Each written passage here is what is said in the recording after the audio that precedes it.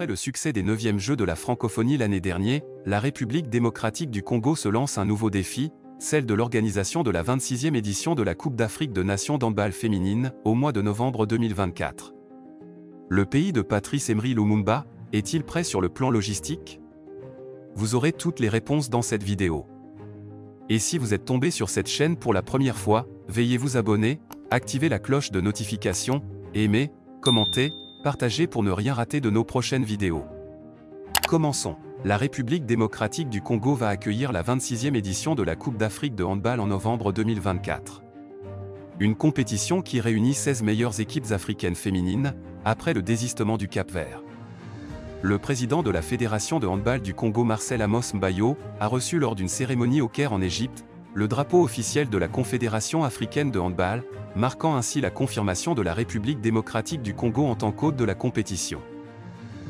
Depuis la tenue de 9e jeu de la francophonie, ce grand pays d'Afrique centrale dispose désormais des infrastructures pour ces genres de compétitions qui se jouent dans de salles couvertes.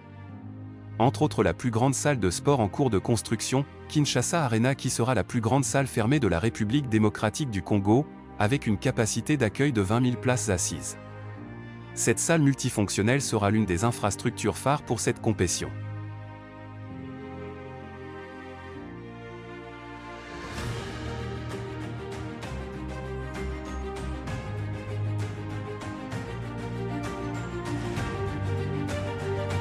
Cette compétition africaine va bénéficier aussi de quatre gymnases jumelés, construites lors de 9e Jeux de la francophonie, avec des capacités d'accueil allant de 5 000 à 10 000 places et plusieurs terrains d'entraînement que dispose Kinshasa.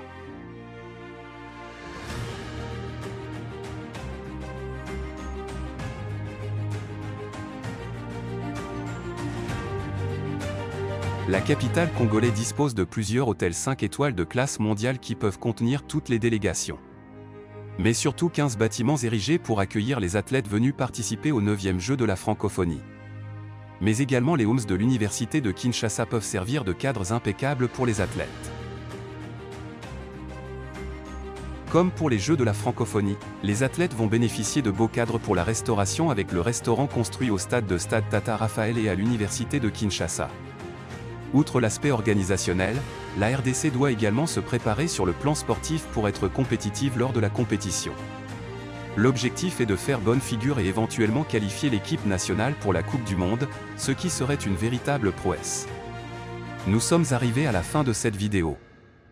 Rendez-vous au prochain numéro pour des nouvelles vidéos. Surtout n'oubliez pas de vous abonner pour être informé en premier.